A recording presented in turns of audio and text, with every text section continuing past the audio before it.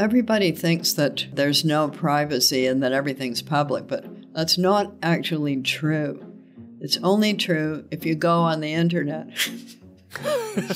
so if you can keep off your phone for one second, then you can have some moments of privacy.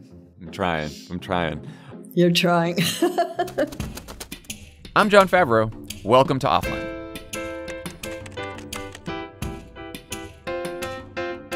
My guest today is legendary Canadian author and poet Margaret Atwood. Margaret has been called the prophet of dystopia, which, unfortunately for us, has become increasingly accurate. Over the course of 18 novels, 9 story collections, and 18 books of poetry, Atwood has shown an eerie ability to predict the creeping spread of theocracy and totalitarianism, most notably with her 1985 novel, The Handmaid's Tale, which rocketed back into the public consciousness after the election of Donald Trump and a TV adaptation. A couple weeks ago, she wrote a piece for The Atlantic titled Go Ahead and Ban My Book, where she takes on the Madison County, Virginia School Board, which recently banned The Handmaid's Tale from its schools. In the piece, Atwood argues that in a digital age, no book ban will actually keep her writing out of the hands of curious teenage students. It felt like a perfect offline conversation, so I invited Margaret on to talk about it. Here's Margaret Atwood. Margaret Atwood, welcome to Offline. Pleasure to be here. Um, I want to start with the big question about the state of the world. Uh, so there's obviously quite a bit to worry about these days, particularly if you're a, a fan of democracy. But I've also seen an argument uh, recently that 2022 was the year democracy fought back. Ukraine's still standing, Europe's stronger, Le Pen lost, Bolsonaro lost, Trump's candidates lost in our midterms. And I wonder, as someone who's uh, thought and wrote a lot about the struggle between democracy and autocracy, how do you think we're doing right now? I would say uh, I'm not counting you out. I'm not counting out the United States by any means, uh, but there are uh, certainly in the, the states that are banning books and what is this nutty new law that you have to register if you have a blog and you're mentioned uh, anybody in government in Florida? What kind of a Soviet Union thing is that? Yeah, some kooky Republican legislator introduced that bill. Yeah, it's not a. It it wouldn't be a good thing. In fact, it would be practically a 1930s Soviet Union kind of thing. So if that's really where they want to go, maybe they should read a bit of history. Uh, yes, it's it's very strange, but I would say people are now that they've popped out of their slumber and uh, realize they can't take any of this for granted, I would say that they are that they are fighting back. What do you think are some of the conditions that gave rise to this latest wave of authoritarianism, sort of n- not just in the United States but all over the world? When conditions are unstable, and conditions are unstable, and they're partly unstable because of floods and especially droughts, lower harvests, food shortages, that destabilizes things. You have some form of civil unrest, and there is a great inclination to topple governments and try to replace them with something else that people fondly hope will, will do better. Uh, so I think it's, it's unstable conditions that that create anger and desperation. And, and then political actors either try to increase that to make it really, really unstable, or they or they say things like "I alone can fix it," and uh, people people believe them, right? Right, because they're desperate. Uh, when Russia first invaded Ukraine, there was this debate about whether Putin would be able to make the shift from authoritarianism to totalitarianism you know and for people that don't know he's doing pretty well yeah well that's so he's doing better he's do, he's doing better making that shift than he is on the battlefield and i wonder like what have you learned about how people come to support or at least tolerate totalitarian regimes like what Russia is becoming or has become? They they don't want to be shot in the back of the head. mm. So it's fear. It's fear. So it's it's fear and also exodus. So all the people who might be opposed to this kind of behavior get out if they can, leaving behind those that have no power, those that are collaborators and supporters because they're getting something out of it, and those who are just afraid. Uh, because these regimes don't fool around. Uh, when I was talking about the Handmaid's Tale early on, people were saying, "Well, well, why didn't they have a big street march? Well, why didn't they resist? Well, why didn't they do this and that? And we would never blah blah." And I said, "You don't understand these regimes. They will kill you. Mm-hmm. They're they're not into uh, fairness and uh, uh, accommodation and or any of that kind of thing. They they they they wish to eliminate the opposition, and if you are um, resisting publicly, you are the opposition, and you will be killed or exiled or put in jail or something like that. Yeah.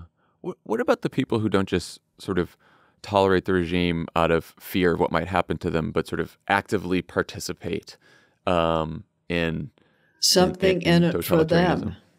Mm. Yeah, there's always jobs to be had, you know, prison guards and, um, you know, camp supervisors and jobs like that. And, and there will always be people willing to take those jobs. So, Handmaid's Tale, people said, oh, why, why were women helping to uh, control other women? Answer read some history. it's how colonial regimes worked. They, they recruited people from the countries that they were dominating, and there were always, you know, if you can get some better pay and put food on the table, a lot of people will take that. Thank you very much. You've said that Handmaid's Tale was um, influenced in part by your experiences in several countries behind the Iron Curtain in the mid 80s. What did you see there that shaped your thinking? What did I not see there? What did I not hear there? So it's not just what you see and hear, it's what you don't see and hear. I'll give you mm. a hmm. very small example. It was in Poland, 1984. They had a, a big book festival. And there were a lot of very beautifully illustrated children's books. And I said, Why are there so very many beautifully illustrated children's books? And they said, Think about it. Are you thinking about it? I am. do you have do you have the I, answer? I don't. Not political. Ah less likely to be controversial. That was then. Now, children's books can be quite controversial in the United States, but, uh, you know, stories of happy little bunny rabbits in Poland in 1984, you were unlikely to get shot in the back of the head for that. Hmm. Or another example, uh, let's go out into the middle of the of this field. It says Czechoslovakia. Why are we going out into the middle of the field? Because people are not going to talk to you in a room. They're not going to talk to you in a hotel. They're not going to talk to you in a car. Uh, we assumed that all of those were bugged. Uh, so out we went into the middle of the field, and then I heard some things that I could not then repeat or write about because that would get people into trouble. Okay, so it's wow. what you're not seeing and hearing, but you are maybe seeing and hearing in a field. or other example. Yeah. 1989, so now- it's Berlin.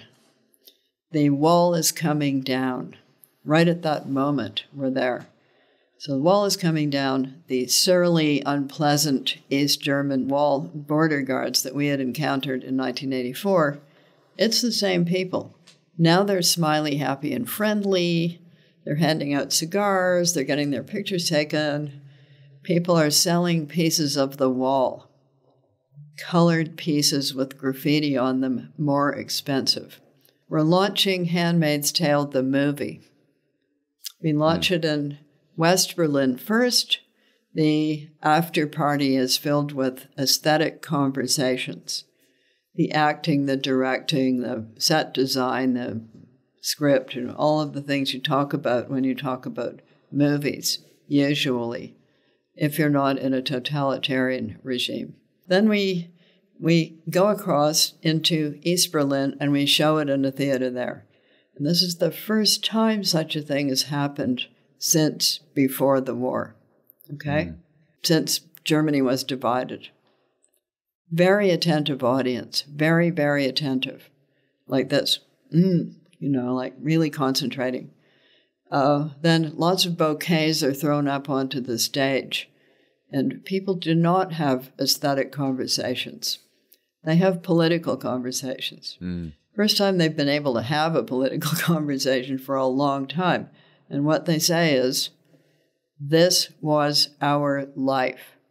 Wow. They don't mean the outfits. They mean the fact that you could not trust anybody. You never knew who you were talking to. You never knew if your next door neighbor was snitching on you. Um, you didn't know any of that. And if you saw that film a while ago called The, the Lives of Others, uh, that was very much the flavor of, of East Germany before that wall came down.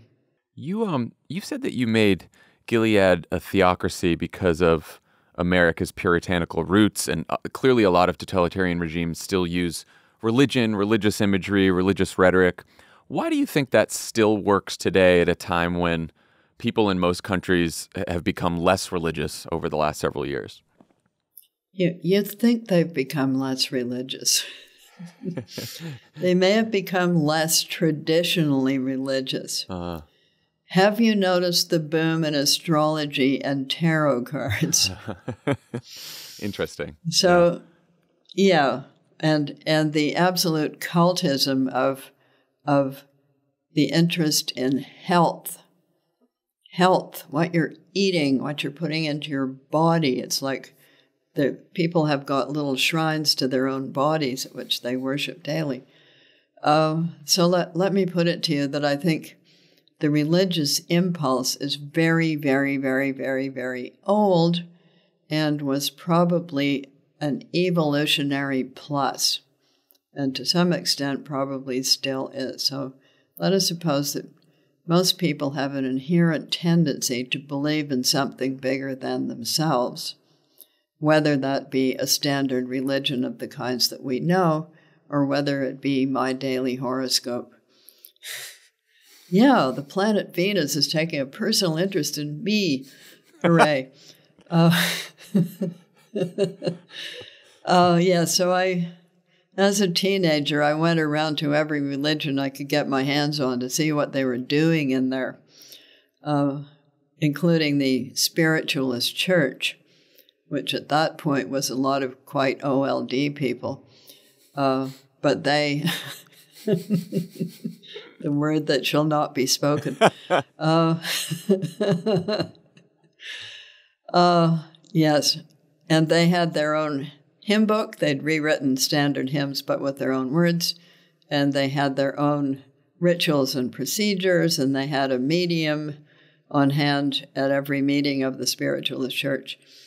And their belief in something bigger than themselves was that there was an afterlife and their loved ones were in it, taking a personal interest in them and sending them messages, which were never very helpful, I have to say. It was never like, what horse to bet on or which dog to buy. It was things like, be careful going down the stairs on Thursday. These are useful things. You should be careful going down the stairs on, on any day of the week. yeah, Thursdays in particular, it seems. Yeah, little good advice. Uh, so, so let us pretend that there is an inherent tendency to believe in something bigger than yourself, and it's almost impossible to think of yourself as dead because you are still a noun in a sentence that mm. contains you. You say, I will be dead. There's still an I. Yeah. There's not a nothing, right? So we, it's just, it, it's kind of built into language and probably to our uh, deep past. So my feeling about religion is if you're if we're going to have them, which we are, let's have good and less and less harmful ones. But there will always be people taking advantage, and um, persuading other people that they've got the real insight and the truth and, and give me some money, please. Yeah, and using it as sort of a, a galvanizing force to uh, for political well, movements. in in in the scammy area, that's that just impacts your money, but in the political area, then people try to harness that and use it for political advantage for their own side. Mm. But uh, is this what Jesus meant? Not if you read the red parts in the Bibles that have got the words of Jesus in red. Not a word. Nothing about gay people. Thing on women, let he who is without, without sin cast the first stone. Double dare ya. Nobody threw a stone. Yeah. Well, and, and you can and you can find uh, you can find the golden rule in just about every religion that exists on Earth. Well, so why doesn't anybody pay attention to it? I I don't know. Yeah. I guess we all have the capacity for good and evil, right? Without a doubt. You forgot the third because there's three good, evil, and stupidity. Yeah, yeah, we, we're, we're swimming in that right now. Offline is brought to you by ZBiotics. We all have busy lives these days and can't afford to waste a day stuck on the couch because of a few drinks the night before. ZBiotics is the answer we've all been looking for. ZBiotics Pre Alcohol Probiotic is the world's first genetically engineered probiotic. It was invented by PhD scientists to tackle rough mornings after drinking. Here's how it works when you drink, alcohol gets converted into a toxic byproduct in the gut. It's this byproduct, not dehydration, that's to blame for your rough next day. ZBiotics produces an enzyme to break this byproduct down. It's designed to work like your liver, but in your gut where you need it most. Just remember to drink ZBiotics before drinking alcohol. Drink responsibly and get a good night's sleep to feel your best tomorrow.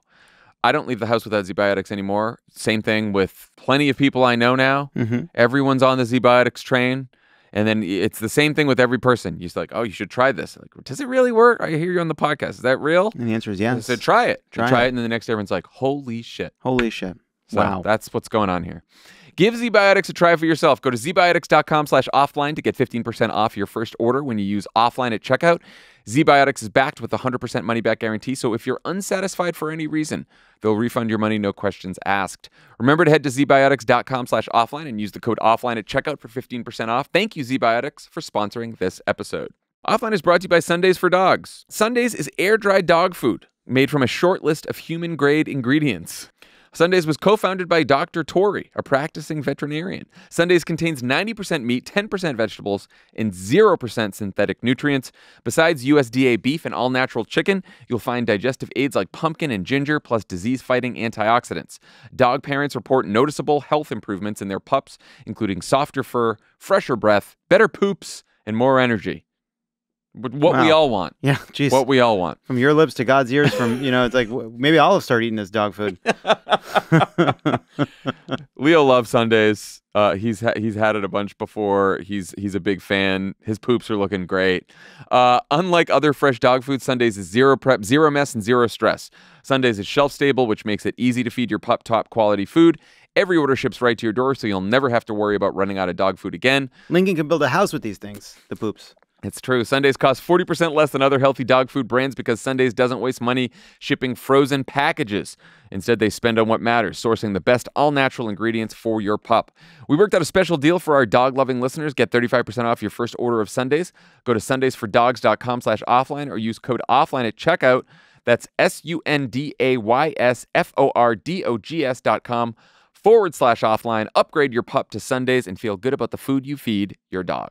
Um, so I spent a good part of my life thinking about the political power of storytelling. First thing uh, President Obama and I would do when we sat down to work on a speech together was figure out the story he wanted to tell because he believed that storytelling was the only real chance to persuade people. Totalitarians usually have a simple, compelling story. I can make all our problems go away if we just make those people go away who are bad and different, right?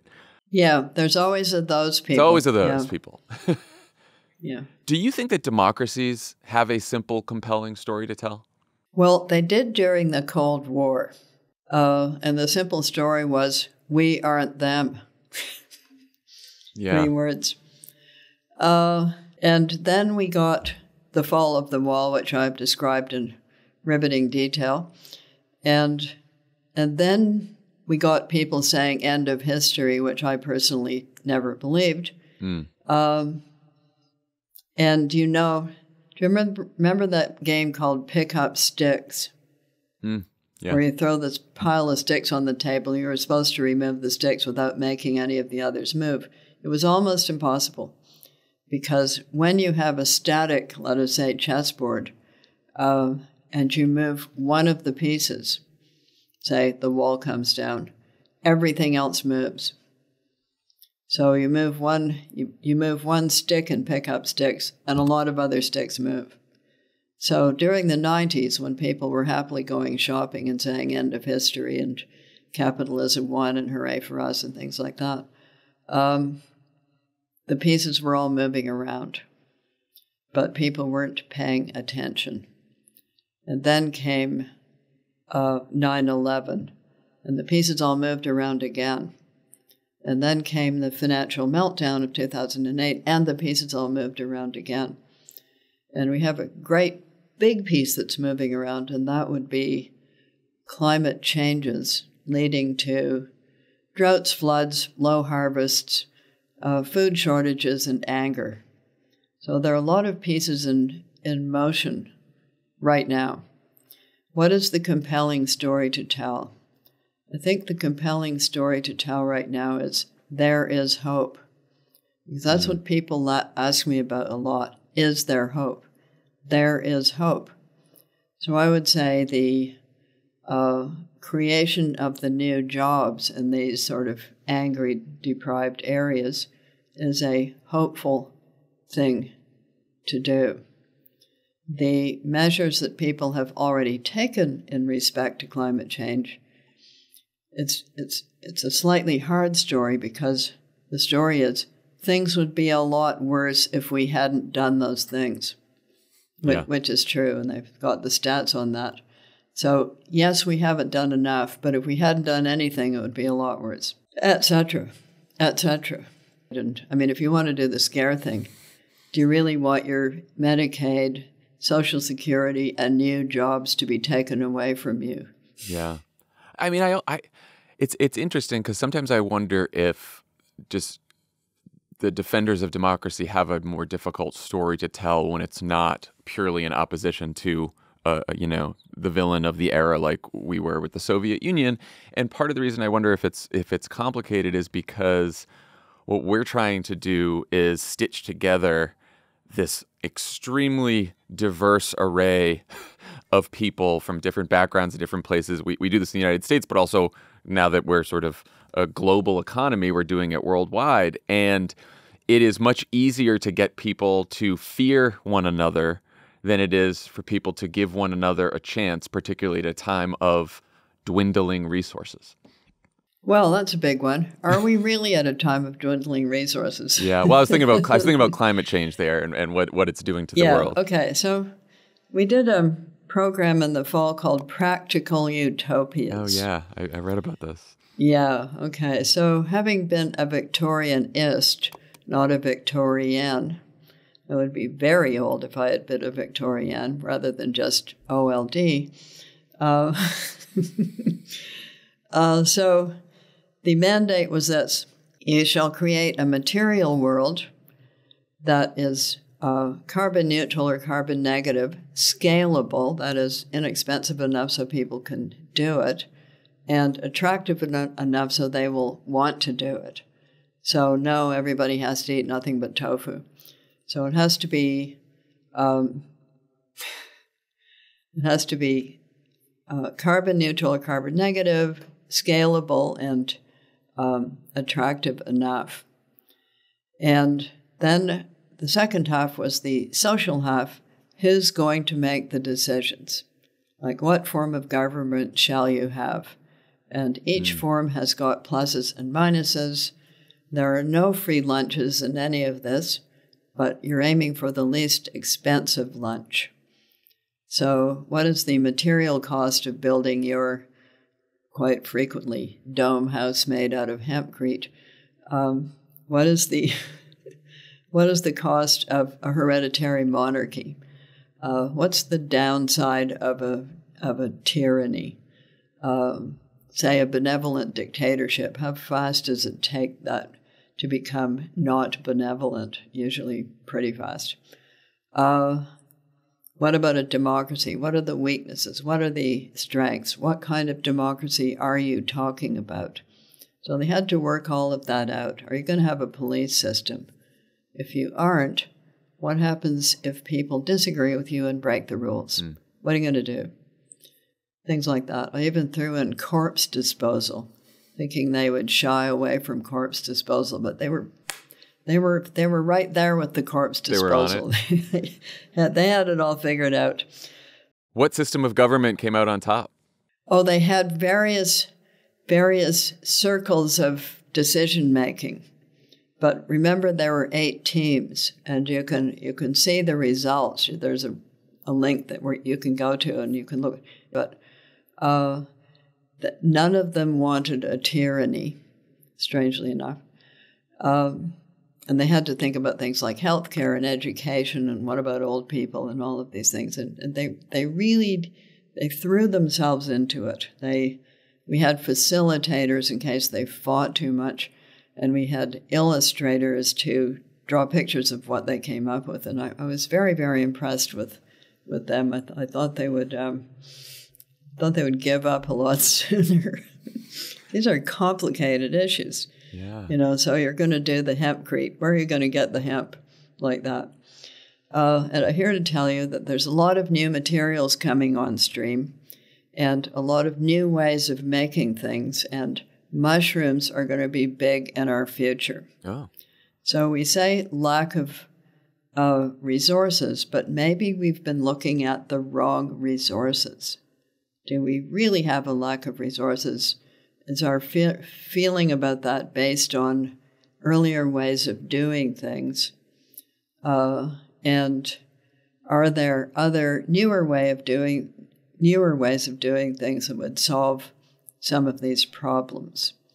Well, Mushrooms, for instance, can can dissolve plastics and clean up oil spills and be turned into fabrics. Somebody sent me a very nice mushroom hat.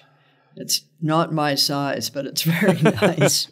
I mean, one thing that's hopeful about this is it seems when you focus people on practical decision making that could improve their lives and the lives of their community and sort of set aside um, preconceived ideologies, um, you end up with a more sort of productive outcome. Very productive outcomes. Um, but of course, this was a self selected bunch. There were people right. who wanted to do this. There yeah. would be a lot of other people who wouldn't want to do this, and there's a huge number of people who wouldn't have the time to do this because mm. they're running very hard just to just to put food on the table and have some kind of an abode. That is right. You wrote a piece in um, in the Atlantic last month about a Virginia school board banning *Handmaid's Tale*, and at one point you wrote in this piece, "Here I would point out that attempts to control media content are as likely to come from the so-called left as from the so-called right." each side claiming to act in the name of the public good. Where does that show up today? Um, the the the left sort of attempting to control content. Well, that's a great big discussion, isn't it? yeah, um, we've had it here a few times. Yeah, yeah. So I think you'd have to go into the washroom with some people who work at media companies, swear that your phone is turned off, and ask them to tell you the real truth. Yeah. Yeah. So a certain amount of self selection goes on there.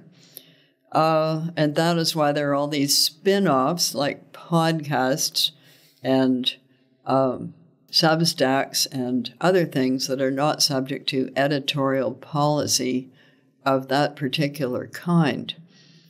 Uh, but, you know, everybody, and this is just a human thing. So pretend you're a Viking. Mm-hmm you're going to go on a Viking raid and you need some some Vikings to go with you. You're going to ch- choose Vikings that are pals of yours and that you can trust. Are you not? Oh yeah, for sure. So people, people, yeah, for sure. Uh, people select in that way. They they select groups of people to work with who are copacetic with them. And uh, that's why Practical Utopias was such an interesting experiment because none of these people knew one another. They're going to have to get along and trust one another, even though they did not know one another. But but mostly, uh, we congregate into into groups of people who agree with us. Yes. And that happens yes. on, on both sides of the equation. Uh, we have been through, I would say, an, a, a period of extreme moral panics. I think we're coming out of the end of the tunnel, and that, that would be on the on the left. I think the extreme moral panic is now setting in on the right uh, because I've noticed that when you have Tucker Carlson saying that he really hates Donald Trump and that news becomes public, you're going to get some panic going on there. what? Well, one thing this I hear, person that I trusted. Yeah, right. Yeah. One thing I hear a lot from friends on the left is, you know, the the real extremism right now is on the right. The Republican Party has become more extreme. Donald Trump, you know, sent out a tweet series of tweets that helped incite Without a violent, a doubt. Sure, this is all true. Right? Yeah. And then So then the next sentence is, therefore you should give us a, a free pass on all the shit that we've been doing.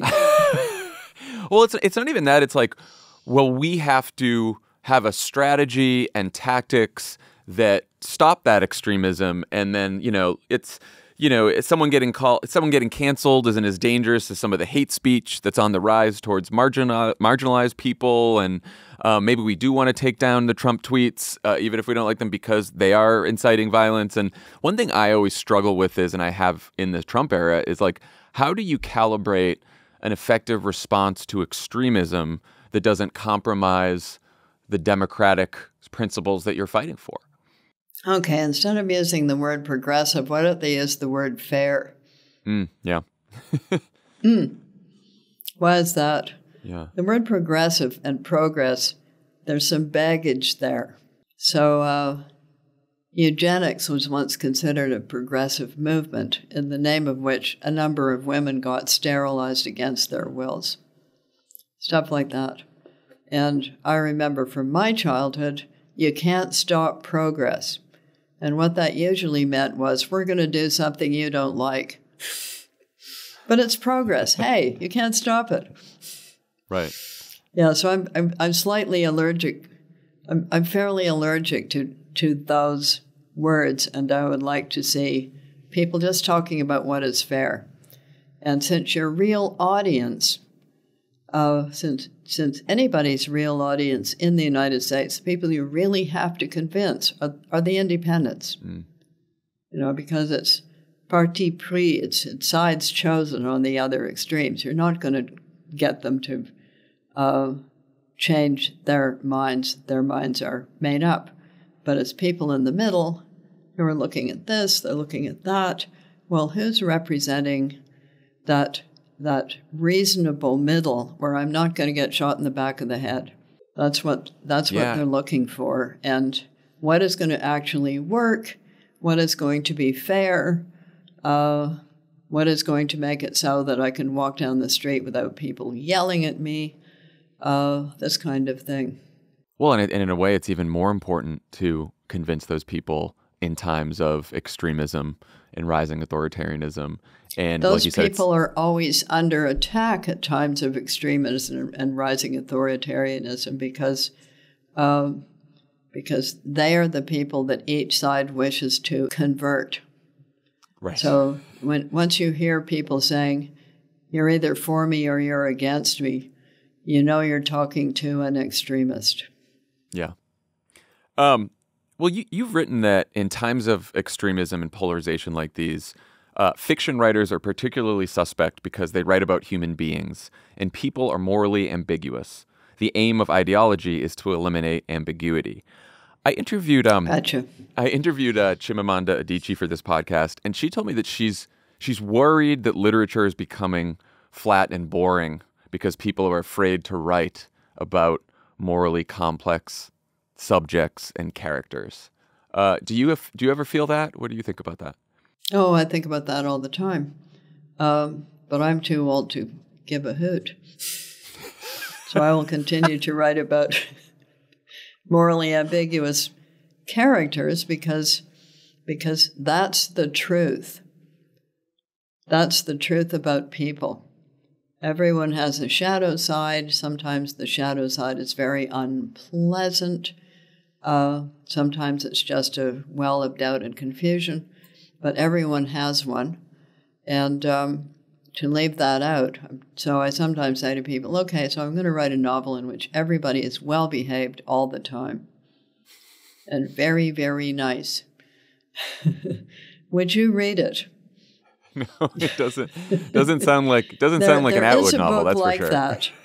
It is not. It's a novel by uh, by Richardson, and it's called Sir Charles Grandison, and it's 600 pages long. So a novel of the 18th century.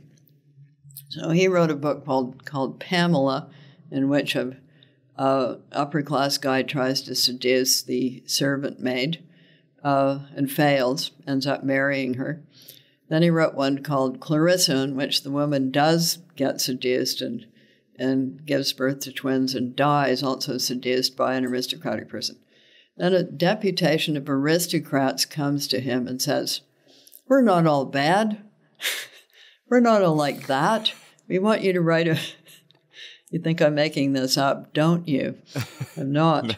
Uh, we want you to write a, a novel in which a, an aristocrat behaves well, like, like most of us, because we behave well. And he says, okay. And he does. He writes Sir Charles Grandison, which starts off very uh, promisingly with the heroine almost getting kidnapped by highwaymen.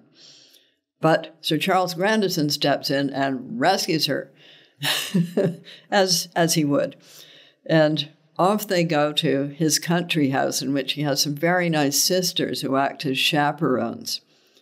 And the rest of the 600 pages is all about good things that Sir Charles Grandison does. And I keep, I'm the only person who's actually finished this book Oh, because wow. I'm very cynical. And I keep waiting for the point where we go down to the cellar and find out that he's running a coin forgery or that he's got, you know, some female vampires chained to pillars in the cellar. No, nothing. We just keep going. He just keeps being good. And that's why I'm the only person who's ever finished this. So yeah, it's it's not it's number one, not interesting, but number one number two, not true. Yeah. He must have done something bad. Did it did he ever even get just a little bit drunk? Apparently not. Yeah, no, that makes a lot of sense. I mean, it's funny. It's something I've been thinking about a lot when I have a, a, a two and a half year old, and I. Oh he- boy. yeah, I know. He, yeah, and he he demands that I tell him stories every night before bed. And so at first, I you want to shield a child from anything that's bad out there, right? That's like the first instinct of a parent when the child is young. And so I'm telling only happy stories, and he's sort of bored by the happy stories. And you do have to start. I'm realizing that I the stories that I tell where there's some conflict or there's some drama or there's someone's acting badly, you know, like those are the stories that he wants to hear because that's what the human condition is, and I guess we're sort of programmed to find that more interesting than the uh, the 600 pager that you just because- spoke about. Okay, so it, it, it alerts us to uh, the truth that there are dangers out there, and those kinds of stories prepare us for the fact that there are dangers out there and maybe give us some coping mechanisms. Uh, but also, children are always told to behave themselves and be good. So, stories about people not behaving themselves and not being good are quite compelling to them. Here's a story from from my life. So I had a little, um, this four and a half, five year old who was up in my room where, where I had a bookshelf and it was mostly poetry and essays and stuff. And he said, I want you to read something from one of your books. And the only thing I could think of was Stephen King's book on writing, which is, by the way, pretty good. I know. I okay, like that book. so I, th- I seem to remember that there was something about S- Stephen King as a child, and I thought, well, this will be interesting. So I start reading and find myself in the middle of the anecdote in which he has this babysitter from hell who has locked him in the coat cupboard where he's thrown up on his mother's shoes. And my, my little child is going, his eyes are getting bigger and bigger and bigger. And, and then he says, he says, read that again. read that again. He'd never heard of such a thing. Yeah. so what, that's what people want. I was an aficionado of Grimm's fairy tales, unexpurgated versions, and they're pretty tough. You know, it's the ones with the uh, wrenched out eyeballs and red hot nails and uh, uh, pretty gruesome things, you know, heads falling down the chimney and what have you. But some children don't like those. My sister didn't like them. The only one that she liked was the 12 Dancing Princesses, which, which ends well. it has a lot of par- party frocks in it. Yeah. Uh, but I, w- I was up for the heads falling down the chimney. Offline is brought to you by Bite. Did you know you swallow 5 to 7% of our- your toothpaste every single time you brush your teeth? Yuck. That's an entire blob of toothpaste every seven days. Most commercial toothpaste are filled with harsh chemicals, artificial flavors, and preservatives, not stuff you'd want to be putting in your mouth, let alone eating. That's why Bite makes dry toothpaste tablets made with clean ingredients that are sulfate free, palm oil free, and glycerine free. Bite toothpaste bits are so convenient. You just pop a bit in your mouth, chew it up, and start brushing. It will turn to paste just like you're used to, but with no plastic tube or messy paste. You're going to think you're an astronaut. Yeah, surprise. That's how great it is. Just pop this bit in your mouth, boom, you got toothpaste. They also come in refillable glass jars and they send refills in compostable pouches. They're better for our bodies and our earth. No more plastic toothpaste tubes. You know, the toothpaste tubes are pretty gross. It's the whole thing's No matter gross. how many times you wipe off the extra toothpaste, there's always more. It's a buildup of toothpaste everywhere. It goes all over the place. You get on your clothes, forget it. You got a new Forget- shirt on. forget it. There's a toothpaste on it. Now it. you got to change. Bite sleek glass bottles and jars look amazing on your vanity and elevate your shelfie game. No hiding gooey plastic tubes here. Bite is offering our listeners 20% off your first order. Go to trybite.com slash offline or use code offline at checkout to claim this deal. That's T-R-Y-B-I-T-E dot com slash offline. So how do you think the internet has changed uh, the craft of writing and the challenge of storytelling? This is something I've been thinking about a lot. Um, novel writing, story writing, not so much. Book promotion, a lot. Yeah, so it's I in the area of dissemination. Yeah, it's the area of dissemination where it has changed a lot. And do you put ads in newspapers, or do you, um, or do you do social media? And uh, I remember when one of my publishers had a soci- social media expert who was who had an office that was basically a, a closet. but their domain has expanded. You may have noticed that. Yeah. Yeah. So the other thing they do is they they put people up to doing this, and uh, some of them just don't like it very much, and others get bombarded and all the usual things that happen. But I, I got onto Twitter by accident back in um, 2009, at a point where my publishers thought I was a nut, a nut to be doing it. We all are. It's okay. We're Um, all we're all a nut. We're all nuts on uh, everyone on Twitter. We're all little nuts. I mean, uh, one of the stories in your in your new book, uh, "Old Babes in the Wood," is an interview between you and a, and a deceased George Orwell, uh, where you touch on the internet, telling him that even though it started with good intentions, its effect has been to collapse privacy and erode the notion of the individual. Why do you think the internet has eroded the notion of the individual? Well, everybody thinks that that there's no privacy and that everything's public, but that's not actually true. It's only true if you go on the internet. if you don't go on it, if you don't go on Yeah. it, things are different. Okay. Uh, but this erosion of privacy in the individual was happening long before. Remember, I told you about going out into a field Right. uh, in 1984. So it used to be called getting your house bugged or um, not knowing who was a spy. Uh, so yes, we've been we've been snooping on one another um, like forever, and it's even in the Bible, snooping. So before invading something, they send spies, right? Of course, like any normal person would. yeah, so all of that, you aren't who you you aren't who you say you are. Impostures, scams, uh, lying, snooping, uh, all of this is, has been going on for a very long time indeed. You can go back to the reign of Elizabeth I and look at her spy network.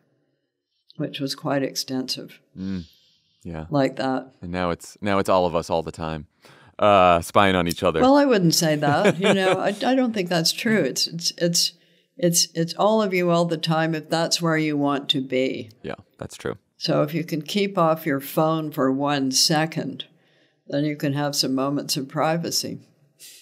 I'm trying. I'm trying.